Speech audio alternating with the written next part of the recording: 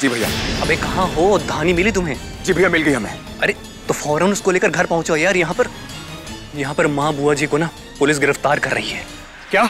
अरे वो सब छोड़ो तुम बस जल्दी आ जाओ। ठीक है भैया आ रहे आ रहे हाँ। जल्दी आओ यार। थाने चल घर चल के हम बात करते हैं तुम हाथ छोड़िए हमारा। हमने आपसे कहा हम अपने घर जाना चाहते हैं। आपके साथ नहीं जाना चाहते हम। प्लीज़ घर चलो धानी। नहीं। धानी बस करो। ये बेकार की जिद मत करो हमारे साथ। चुपचाप हमारे साथ घर चलो इस वक्त। वहाँ भुआ और माँ को पुलिस अरेस्ट कर रही है। एक बार ये मसला सुलझा दो, उसके बाद जो कुछ तुम्हारे साथ हुआ, हम बैठ के खुद सुनेंगे। प्लीज़।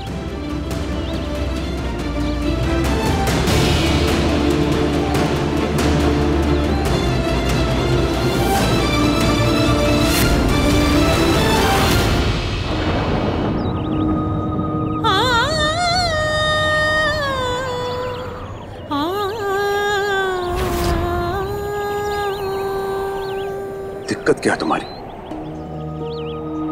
तीस दिन मांगे थे ना तुमने हमसे? खुद को साबित करने के लिए। दिए थे ना तीस दिन, फिर भाग क्यों रही है तुम? हम भाग नहीं रहे हैं, ध्रुव जी। शायद आप भूल रहे हैं कि आपने हमें धक्का मार के घर से निकाला था।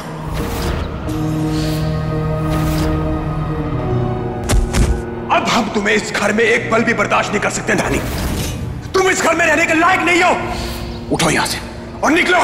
दोबारा अपनी शक्ल यार लेकर मत आना।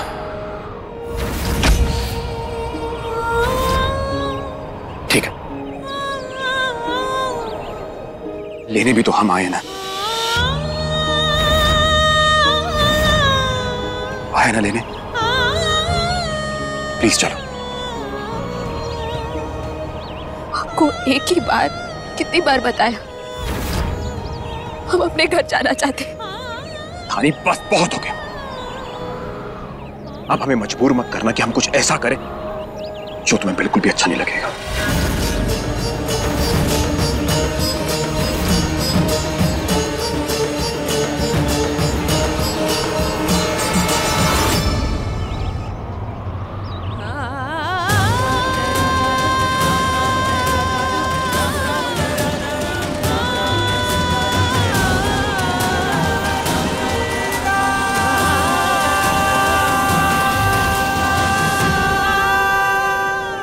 अट्ठाईस दिन है अभी तुम्हारे पास।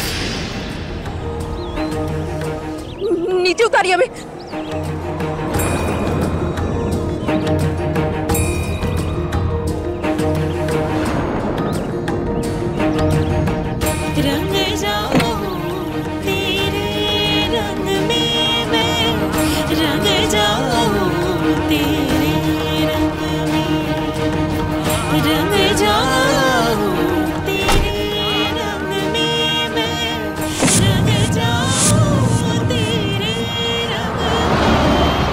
चलो इन्हें लेके। अरे आता हूँ अकेले नहीं जाएँगे रूपा। पापा ये क्या कर रहे हैं आप? माँ है बुआ जी हैं वो। जैसे कर्म करेगा वैसे फल देगा भगवान। यही है गीता का ज्ञान। इंस्पेक्टर हमारा भाई किसी वक्त लेके आने वाला धानी को। प्लीज़ प्लीज़ थोड़ा इंतज़ार कर लीजिए। उसे कहना धानी को लेकर थाने आ जाए।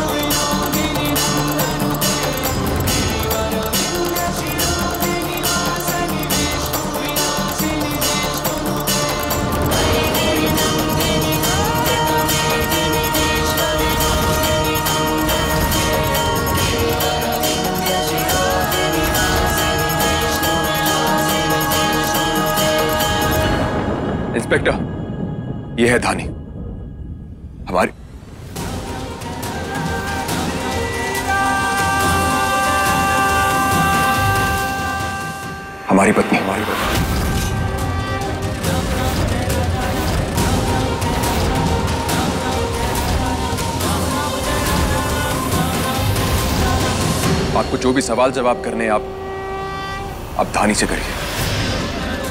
और हमारी माँ और भुआ को परेशान करने की ज़रूरत नहीं आपको। जो भी सच है प्लीज़ प्लीज़ इन्हें बता दो।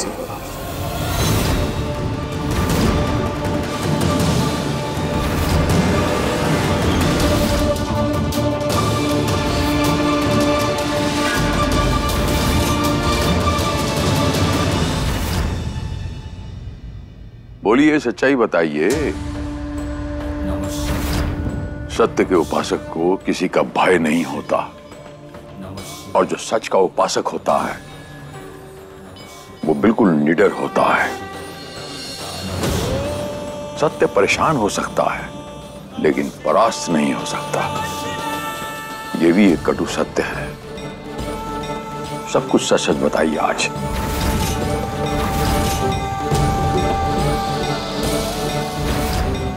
बताइए धानी बच्चा। इंस्पेक्टर साहब आपके सामने है, सब कुछ सच सच बताइए आज। क्योंकि कुछ लोगों का पर्दाफाश होना बहुत आवश्यक हो गया है अभी।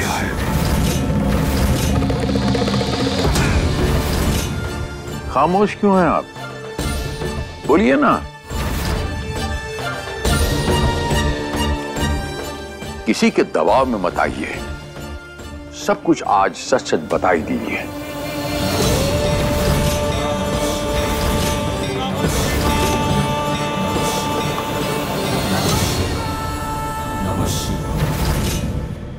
इंस्पेक्टर। इन्हें जाने दीजिए। इन्होंने कोई गलती नहीं की। ए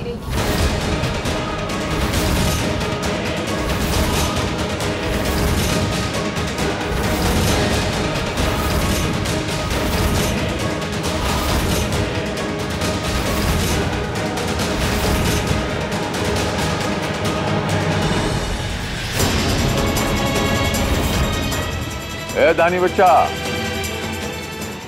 क्या हो गया आपको? हमने कहा सच सच बोलिए। झूठ बोलने के लिए नहीं कहा हमने। किसके दबाव में झूठ बोल रही हैं आप?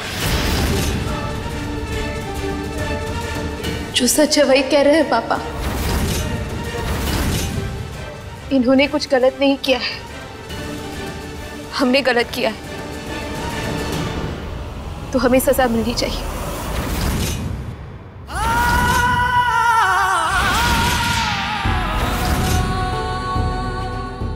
अरे झूठ क्यों बोल रही हैं आप? आ, कोई धमका रहा है? हमें बोलिए ना हम खड़े हैं पुलिस है इधर आपका पति है बोलिए डरती का है।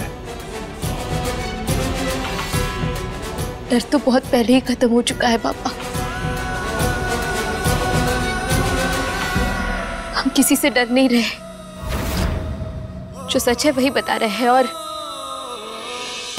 ध्रुव जी माँ जी बुआ जी सब इस बात को सच मानते हैं तो आप भी मान लीजिए।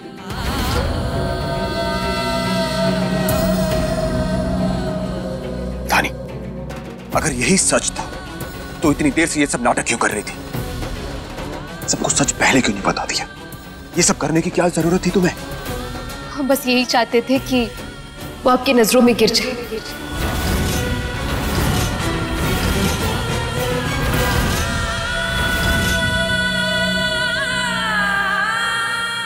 इंस्पेक्टर जो सच है हमने सब बता दिया है आपको तो अब जैसा आपको ठीक लगे उम्मीद है धानी जी आप बहुत सोच समझ कर ये बयान दे रही है।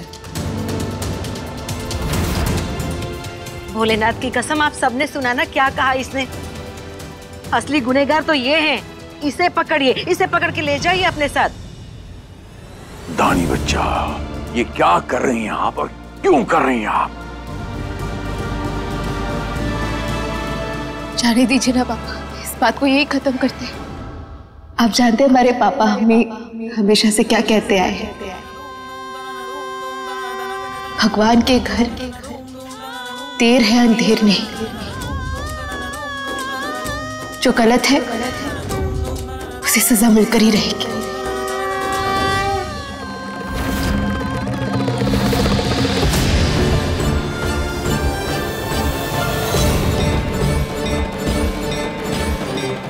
चलिए।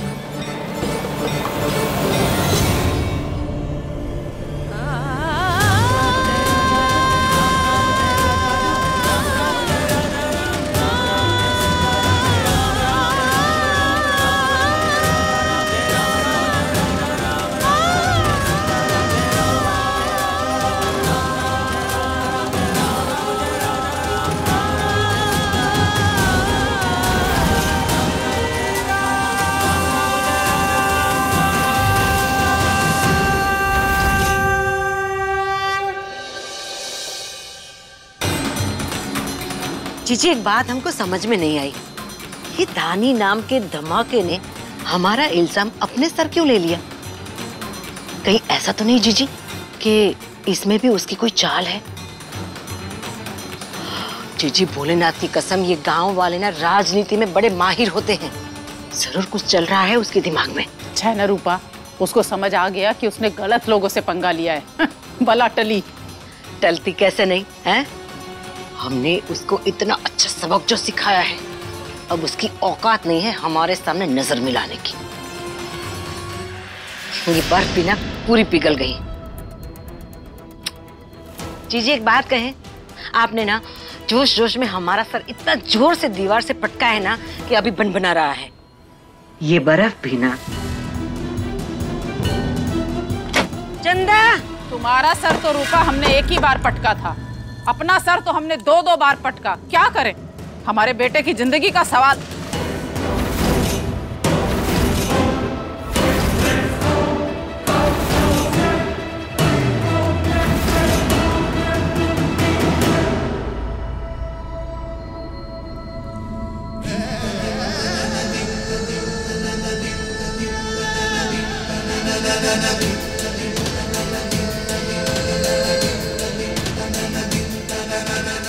धानी पे केस नहीं करना माँ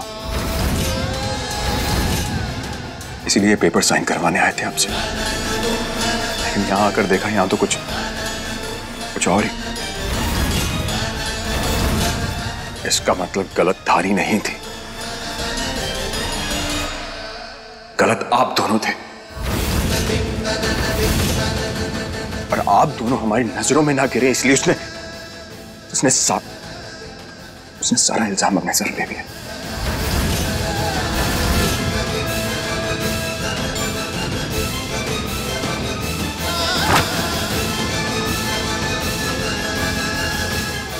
आप दोनों ने ये सब इसलिए किया ना, क्योंकि उसने धोखे से हमसे शादी की। इतनी नफरत माँ। हुआ? इतनी नफरत की आप लोगों ने शराफत की सीमा ही पार कर दी। आप लोगों पे भरोसा करके हमने उस पर इतना बड़ा इल्ज़ाम लगा दिया। समझ में नहीं आ रहा कि हम किस मुँह से उसके सामने जाए। नफरत आप दोनों करते थे उससे। और आज ये सब करके आपने हमारी नज़रें झुका दी उसके सामने। खैर, बहुत हो गई आप लोगों की मनमानी। अब जो करना हम करेंगे। आज से 28 दिन तक, धानी इस घर में बहू बन के रहेगी।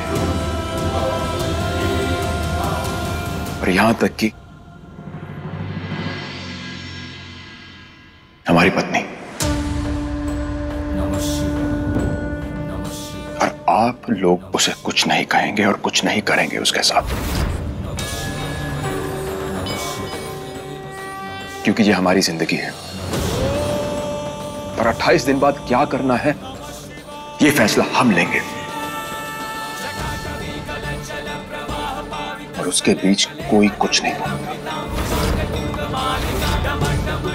दांत भी नहीं।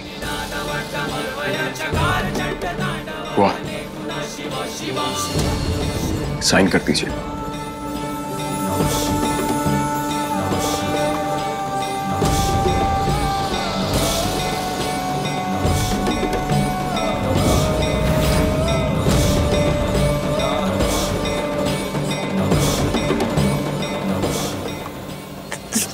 माँ हमें कुछ नहीं सुनना प्लीज़ आप। प्लीज़ साइन कर दीजिए प्लीज़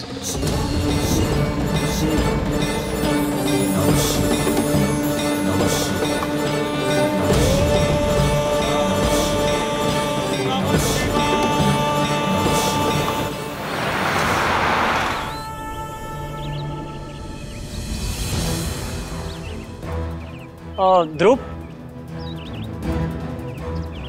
धानी के खिलाफ सारे चार्जेस ड्रॉप हो गए हैं। कोई भी कंप्लेंट फ़ाइल नहीं हुई है। Thank you so much Siddharth.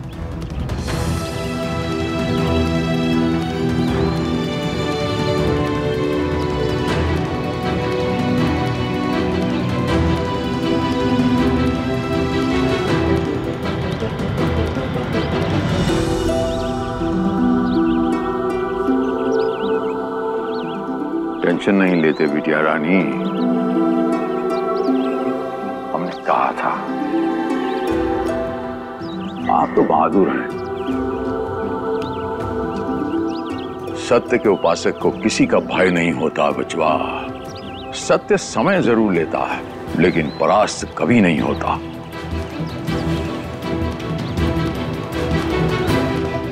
जाओ बचवा, हमारा टाइगर आपसे कुछ बात करना चाहता है। बात कर लो। जय सिया राम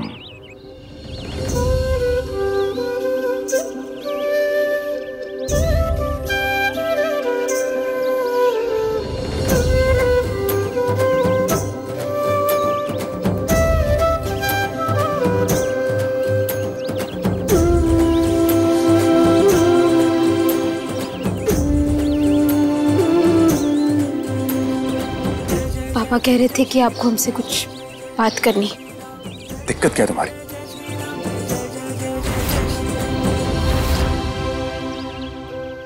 मानते हमारी गलती है।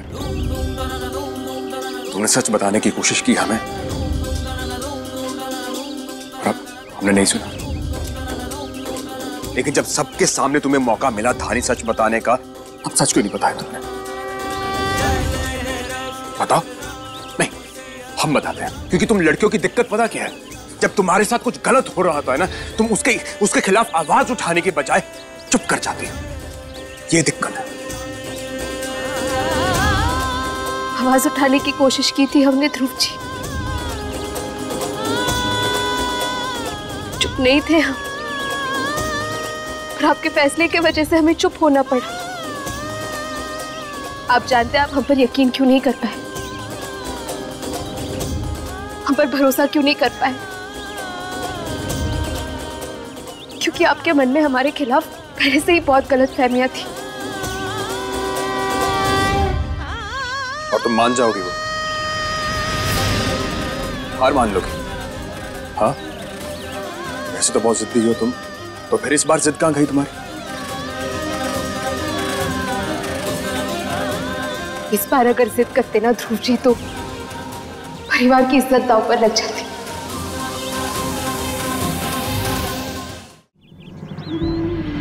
और अगर हमें सच नहीं पता चलता तुम्हारे बारे में तो?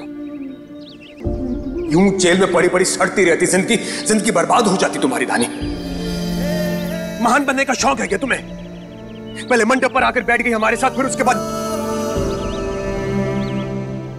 चाहती क्या हो तुम यार? क्या चाहती हो? वो तो हमें भी नहीं पता, ध्रुव जी। हम नहीं जानते, हम क्या चाहते सच तो यह है कि घर में किसी को नहीं पता कि कौन क्या चाहता है, क्या कर रहा है। ना मैं, ना तुम, ना माँ, ना भुआ ना पापा। हर कोई बस बस हमारी हमारी ज़िंदगी से खेल रहा है। और अंत में होता क्या है, सिर्फ़ हम पिसते हैं। हर किसी के फैसले हमारी ज़िंदगी से जुड़े हुए हैं।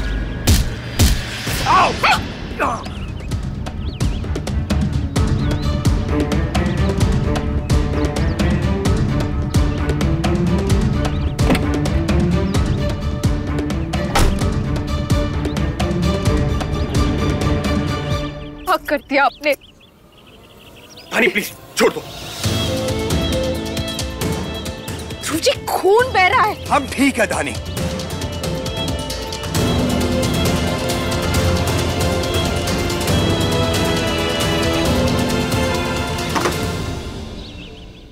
हम जानते हैं कि आप नाराज़ हैं, ध्रुव जी, पर ये कोई तरीका नहीं है नाराज़गी जताने का। अरे, दूसरों की गलतियों की भी आप खुद को सजा क्यों दे रहे हैं? देखिए, आराम से गाड़ी में बैठिए, हम आपका इलाज हम ठीक है। संभाल लेंगे अपने आप को। हाथ जोड़ो तुम्हारे सिर्फ़ 28 दिन बाकी है। 28 दिन खत्म होते ही प्लीज़। प्लीज़ चली जाओ तीस दिन चाहिए ना तुम्हें। दिए तुम्हें तीस। लेकिन इकतीसवें दिन हम तुम्हें खुद आजमगढ़ छोड़कर आएँगे। मेरी बात मानिए। हम संभाल लेंगे अपने आप को तानी प्लीज़ सिर्फ़ इतना कर दो। बाकी सब हम देख लेंगे। ध्रुव जी खून बह रहा है। ध्रुव जी ध्रुव जी! अरे एक चोट आपसे संभाली नहीं जा रही और आपकी पूरी ज़िंदगी संभालेंगे। रुकिए प्लीज़ अट्ठाईस दिन दिए हैं ना आपने हमें। तो इन अट्ठाईस दिनों में कोई हमें नहीं रोक सकता अपना फ़र्ज़ निभाने से। आप भी नहीं।